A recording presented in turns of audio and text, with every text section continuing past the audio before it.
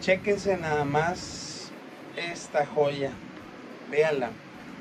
Y aún hay gente que dice, es que el presidente no ha hecho nada. O sea, mi padrino, mi abuelito, mi tío, el cabecita de algodón, obrador, el mecanso ganso, el puchihuacala o el romántico. Sí, muchos dicen que él no ha hecho nada. Ahí está la prueba. Pero ojo, es como, ¿qué es más fácil? Educar a un niño de 5 o 6 años que lo puedes ir moldeando poco a poco a tu manera o moldear a una persona que ya tiene 40, 50 años y está maliciada. Obviamente, miren nada más qué joya tan preciosa y tan hermosa. Ahí está. El cambio de la cuarta transformación no es de un sexenio, se requiere más tiempo todavía. Pero miren aquí está esta joya nada más. Chulada. Ahí está. Miren nada más. Ahí está la muestra.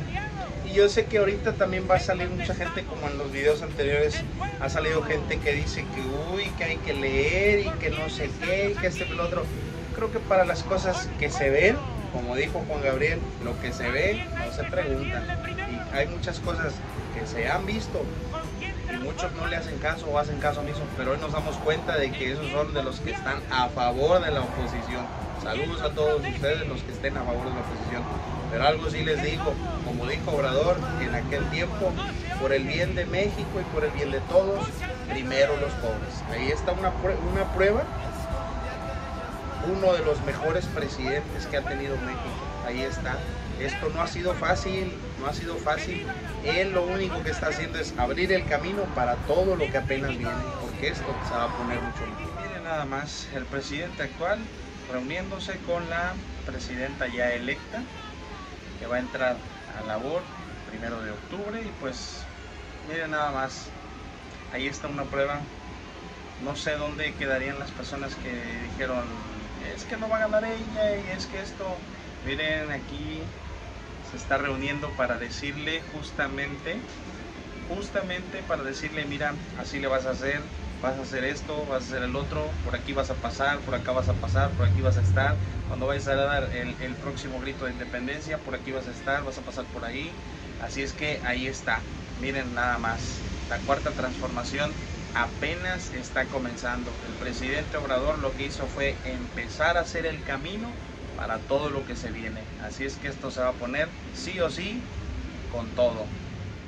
Años de su vida luchando para llegar a un momento de poder ser el mejor presidente de, la República Mexicana, el mejor presidente de la historia. Y se puede, se oye fácil, pero han pasado ya cinco años y unos meses, ya casi los seis años. Y hemos tenido un excelente presidente. Muchos no han sabido apreciarlo, muchos no han querido observar lo que él ha hecho, pero pues ya casi se retira, son sus últimos momentos que va a estar aquí, que lo vamos a ver, lo vamos a ver recorrer, lo vamos a ver en las mañaneras.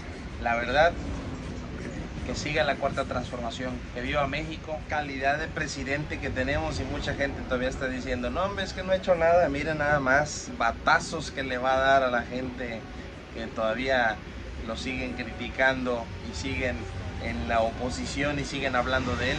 Y no es malo, no es malo que haya gente de la oposición, porque pues también gracias a ellos tenemos mucho de qué hablar. la verdad que sí, porque pues sin esa gente que dice burradas y tonterías de la oposición, pues también no tendríamos mucho contenido que hacer, la verdad. Y pues gracias a Dios por la vida de nuestro presidente Andrés Manuel López Obrador, porque gracias a él nos abrió los ojos a muchísimos. Algunos ya andábamos un poco despiertones, pero otros la verdad sí estaban, o algunos siguen todavía durmiendo bien gacho, siguen en la burbuja de los fifís, como dice el presidente Andrés Manuel López Obrador.